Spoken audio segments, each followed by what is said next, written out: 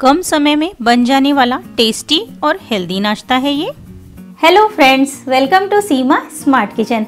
आज हम एक ऐसी चीज़ बनाएँगे जिसे आप सुबह के नाश्ते में शाम की चाय के साथ या तो बच्चों के टिफ़िन में भी दे सकते हैं। चलिए बनाते हैं मूंग दाल का स्टफ़ चीला।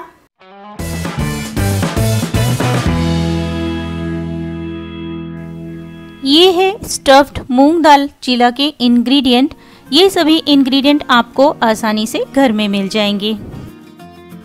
मूंग और चावल को अलग अलग या फिर एक साथ पाँच से छः घंटे या फिर ओवरनाइट भिगा लेना है।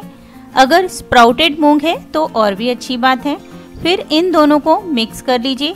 इसमें थोड़ा सा मीन्स दो से तीन चम्मच पानी डाल दीजिए और ग्राइंड कर लीजिए। देखिए, ये इस तरह का ग्राइंड होना चाहिए। मूंग और चावल के बैटर को एक बाउल में निकाल लीजिए। एक दूसरा बाउल लीजिए। उसमें चीज़ को छोटे छोटे टुकड़ों में या फिर ग्रेट करके डाल लीजिए। अब एक कच्चा आलू लीजिए। इसे छील लीजिए और इसे भी चीज़ में ही ग्रेट कर लीजिए। एक गाजर इसे भी छील लीजिए और ग्रेट कर लीजिए। आप चाहे तो और भी कोई दूसरी वेजिटेबल्स ले सकते हैं। आपकी मनपसंद वेजिटेबल्स इसमें डालिए या फिर आपके बच्चों को जो पसंद है वो डालिए। अगर आप हरी मिर्च खाते हैं तो उसके भी छोटे पीसेस करके इसमें डाल दीजिए। काली मिर्च पाउडर, नमक।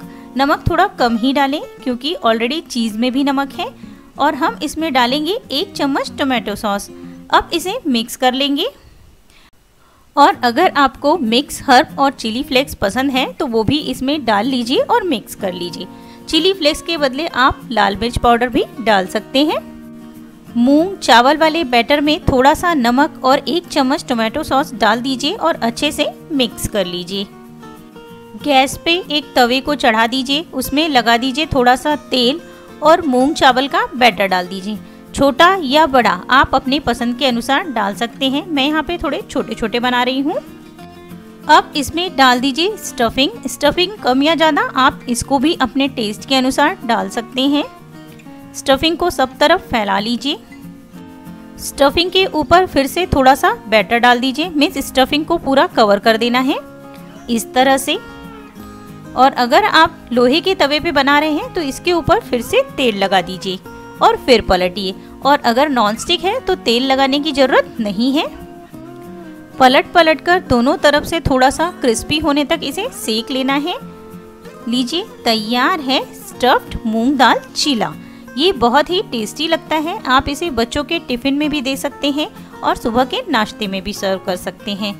ये टेस्टी होने के साथ साथ बहुत हेल्दी भी है। इसे आप किसी चटनी के साथ या फिर टोमेटो सॉस के भी साथ सर्व कर सकते हैं। पर अगर कोई चटनी नहीं है हमने इसमें ऑलरेडी टोमेटो सॉस डाला है तो आप इसे इस तरह से भी सर्व करेंगे तो ये टेस्टी ही लगेगा। इसका टेस्ट थोड़ा सा टेंगी आएगा, क्योंकि हमने इसमें डाला है टोमेटो सॉस आप इसे ज़रूर बनाएँ और अपने एक्सपीरियंस शेयर कीजिए। लाइक और कमेंट करना ना भूलें।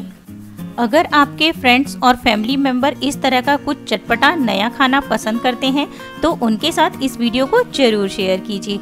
और अगर आपने इस चैनल को अब तक सब्सक्राइब नहीं किया है न्यू अपडेट्स के लिए सब्सक्राइब कीजिए। मिलते हैं एक न्यू रेसिपी के साथ। Thanks for watching bye